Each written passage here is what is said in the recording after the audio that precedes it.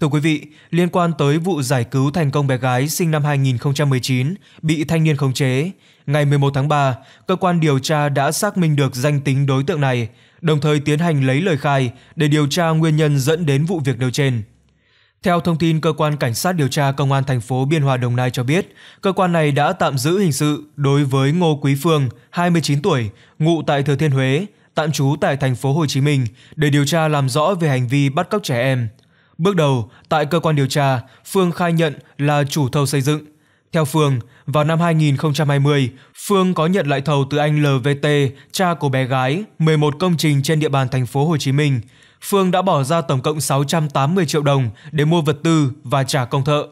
Tuy nhiên, cũng theo Phương, sau khi công trình hoàn thành, anh LVT không thanh toán tiền cho Phương, dù Phương đã nhiều lần đòi. Sau đó thì không còn liên lạc được, gia đình anh T cũng bỏ đi đâu không rõ.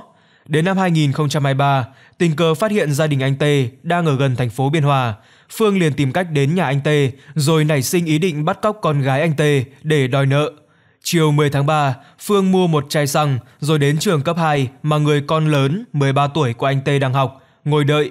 Đến 16 giờ cùng ngày, khi cháu tan học thì Phương bám theo, yêu cầu cháu đưa về nhà tại phường Tràng Giài, thành phố Biên Hòa.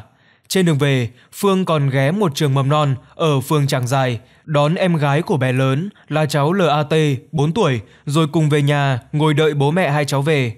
Đến khoảng 17 giờ 15 phút ngày 10 tháng 3, vợ anh Tê về nhà. Phương nói chuyện nợ tiền thì vợ anh Tê bảo không biết, không liên quan, rồi bỏ đi ra ngoài.